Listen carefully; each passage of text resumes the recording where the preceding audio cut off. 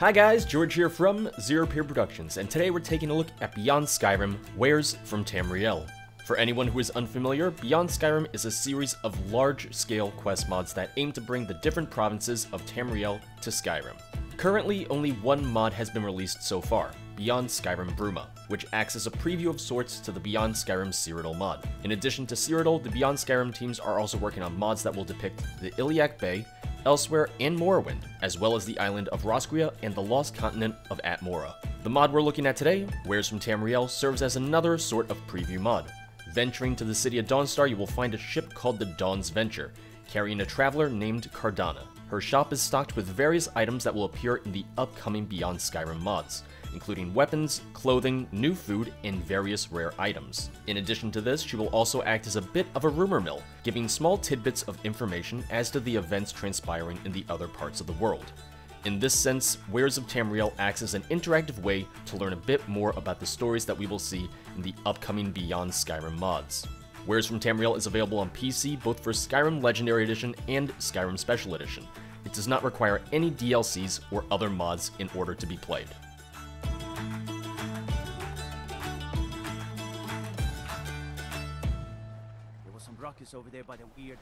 Well, I think I found the ship.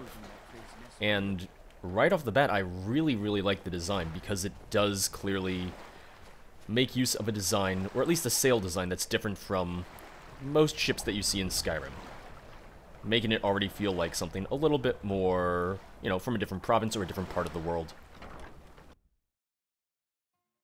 Hello? Just regular clothes. Nope. Thought it might have been something new. Hmm? Hi there. Yes? Aw, he doesn't talk. Just a guard. Welcome, welcome!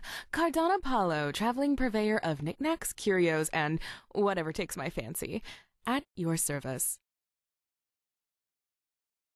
Well, before we look at her inventory, I just want to hear what she has to say about what's going on in the rest of the world. Hmm, sure, sure. People tend to have loose lips when they're haggling with merchants. Especially ones as charming as me. Anywhere in particular you're curious about? Oh, I get to ask about specific places? Well, now I'm happy. I thought I was going to have to sit here and say, hey, tell me a rumor, and I would have to do it about, or I would just have to keep on doing it and doing it until I heard all of the lines that I wanted to hear, but this is much better.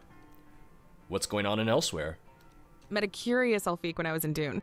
Taught me how to light my lanterns with the snap of my fingers. Strange little cats, aren't they? Hope I'm not taking this too literally, but if that means we get Alfiq in Beyond Skyrim Elsweyr, I will be very, very happy. Anything else? Last time I was up near Riverhold, the chatter was a little disquieting. Some guards talking about sightings of bent cats near Riverhold. Surely they can't mean the Dro-m'Athra, right? Oh, I don't know if that's going to be all there is to say about Elsweyr, but I guess we'll see. Nope, there's still more about Elsweyr. I guess it just booted me back to the original menu. Word in Anequina says that the Rimonese regulators have been spotted in Khajiit lands. Slavers. You ever heard of them? I shudder to think what they do to the Khajiit under their yoke. Anything else? The stuff you see when Dominion soldiers parade through Elsweyr beggars belief. They had a Senche-raht armored up like it was some kind of walking shield for their troops. Alright, well, I like what I'm hearing so far. We have Alfiq, Dro-m'Athra, Aldmeri, Dominion using Senche-rahts as walking tanks, and slavers. Alright, we got a few things going on already. Hmm. Anywhere in particular you're curious about? There's still more for Elsweyr. I know that the mod page said there were over a hundred lines of dialogue, but my god. The followers of Alkosh are calling for Thalmor blood. And let me tell you, that's not sitting well with the Anequinin clan mothers. Anything else? Believe it or not, sometimes I find the time to sightsee. Ever heard of the Tears of Azura? You should visit. The falls are breathtaking. Okay, so that's it for Elsweyr. But that's a decent amount. That is a nice amount of hints at what we can expect. Anything new in the Iliac Bay, which anyone who's unfamiliar, that covers both Hammerfell and High Rock, so we will see both provinces in that mod. Ever been to Farrun? A lot of bad blood in that kingdom throughout history.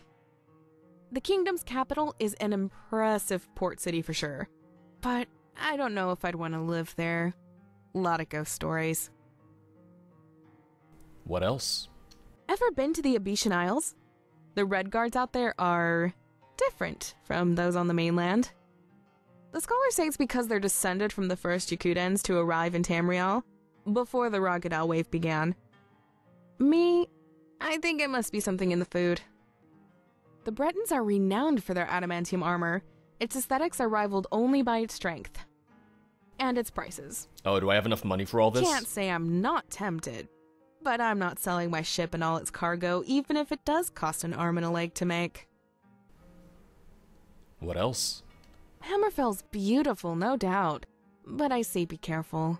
People get carried away with romantic tales of the deserts. All I've seen are cutthroats and monsters. I wish I'd stopped at Jehanna on my way here. The city's come a long way in the last two centuries since the Nords ravaged it during the War of the Bend'r-mahk. What else? You think the Nordic barrows dotting Skyrim are impressive? Wait until you see one of the Direnni ruins spread around High Rock. Ooh.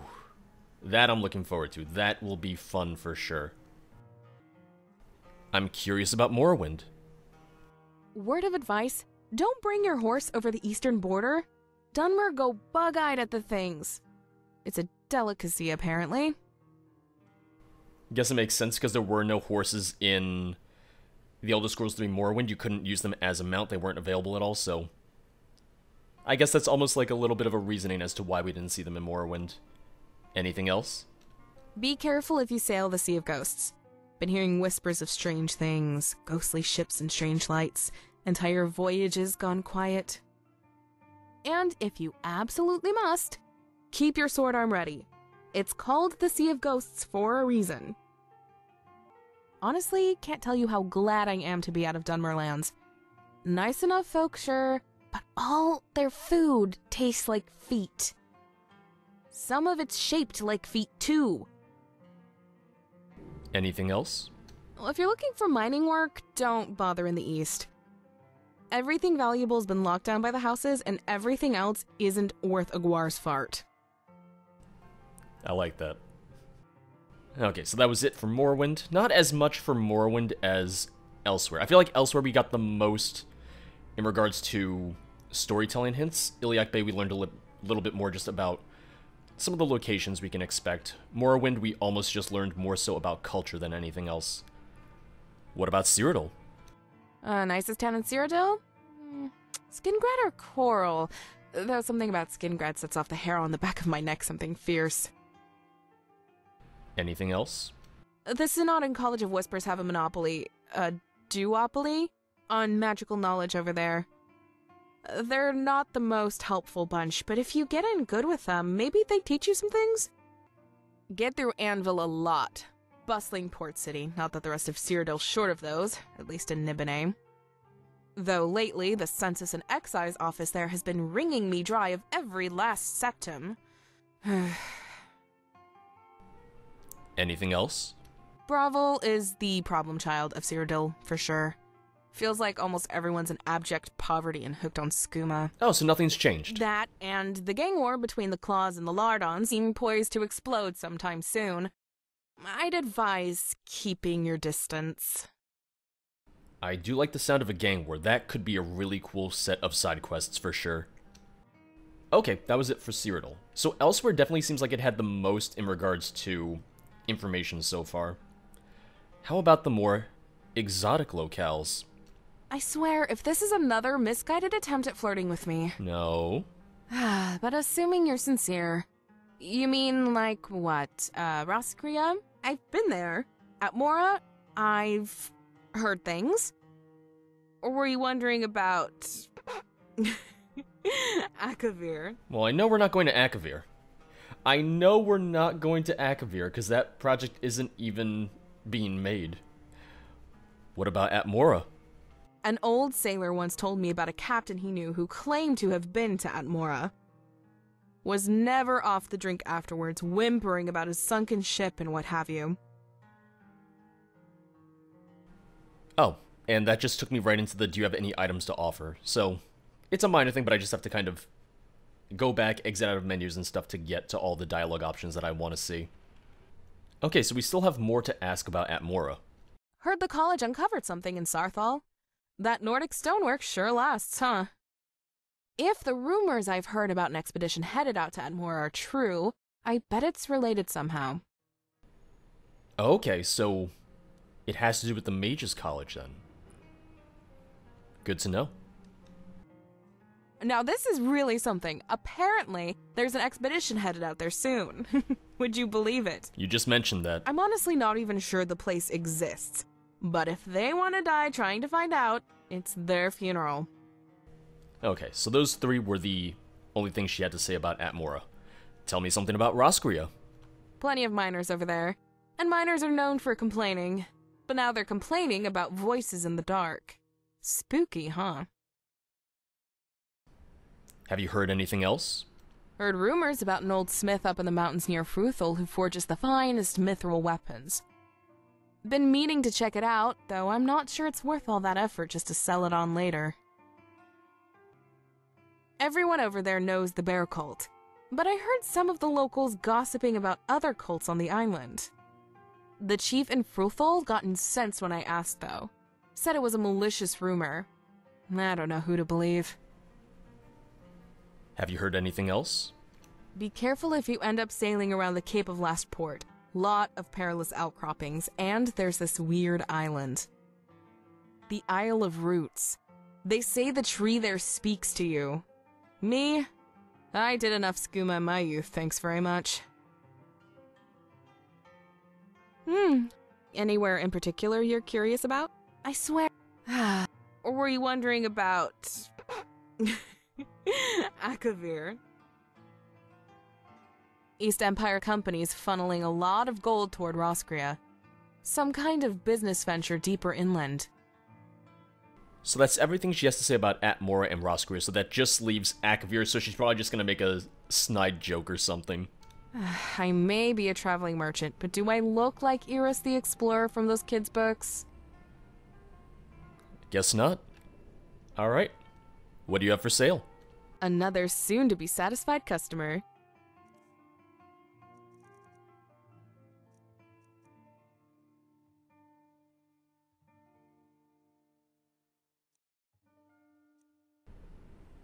Okay, we have quite a few things here. I was just looking at all of it very briefly. We have different Ashlander pots, which you can use these to just decorate your homes for the time being.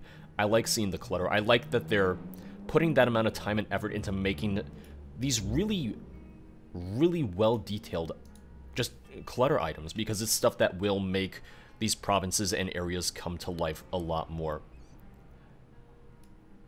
Look at this coin, that's beautiful. And there's different variants of the coins too. Oh, wow. Are both sides different on each coin? Yeah. That's really impressive. The amount of detail that is going into this project is nothing short of incredible. And by this project, I mean all of the different Beyond Skyrim projects, because each mod is being worked on by a different team. Oh, a bamboo hitting stick is a weapon. Look at that. Well, that's nice. Oh, wow.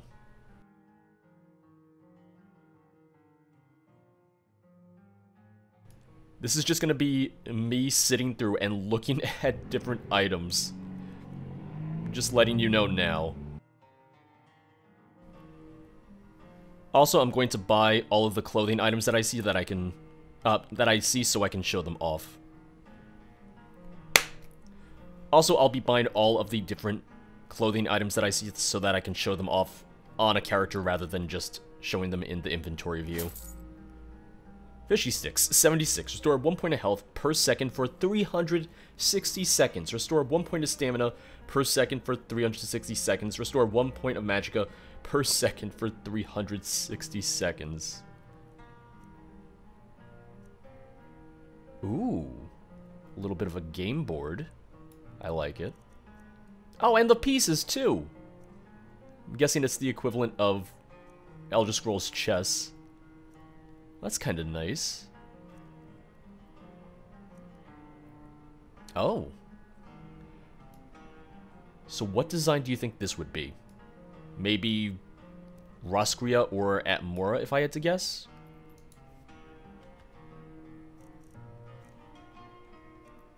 Because, yeah, so these right here, I'm guessing are from Hammerfell. I'm guessing that's from Hammerfell. Hammerfell. Atmora or Roscrea. Hammerfell. Yeah, Atmora or Roscrea. Oh no, Mithril, so that would be Roscrea. Mithril ingots in case... Well, I don't know if we would be able to craft our own Mithril stuff yet. Mooncake, so that's going to be Elsweyr. Ooh. Nibenese common clothes. Chess pieces. Oh, this is an Elsweyr weapon. A Rimini's mace. I really like the look of that.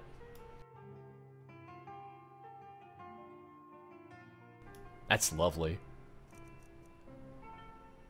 Rolled bedroll. Another rolled bedroll. Rubies.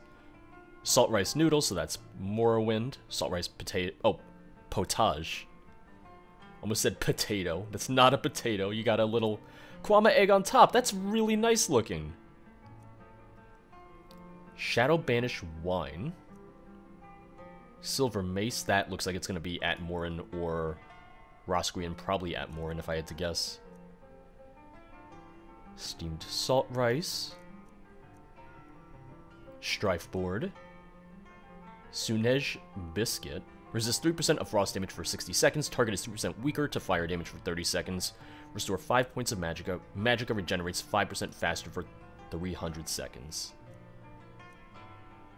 And Verm. Restore 2 points of health.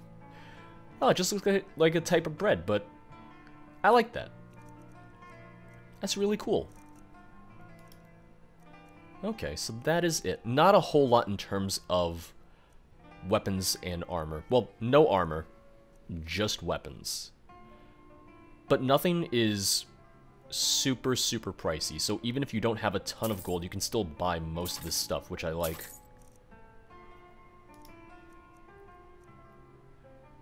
Alright.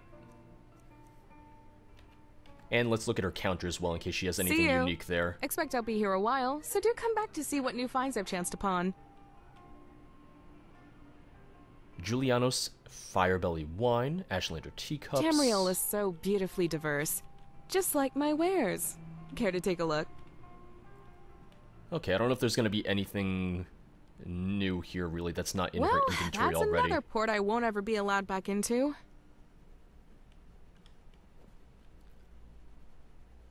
I really like the bread. It essentially just looks like non bread, which I really like anyway. In real life, it's very, very tasty, very delicious.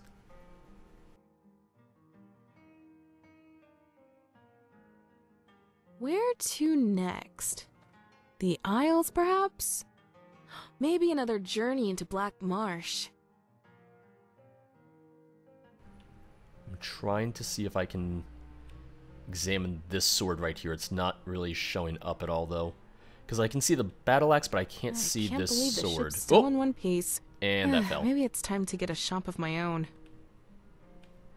Alright, so that is just about it, I guess. Well, thank you guys for watching. A little bit of a shorter video, but I did want to show this off. I wanted to show off her dialogue options, show off the inventory that she had, and just really sit down and get to experience this for myself. I had seen some other people talking about it, but I wanted to, you know, hear what she had to say. I wanted to hear all of the rumors for myself because it really is the best way to look at the upcoming stories for these mods, all of which I'm incredibly excited about.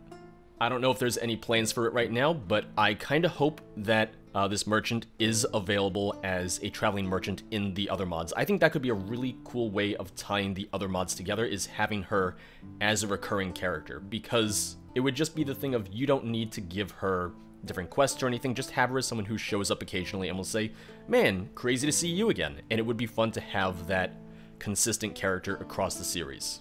The voice acting is really, really well done. I knew that it said professionally voice acted, and Beyond Skyrim Bruma had incredible voice acting as well.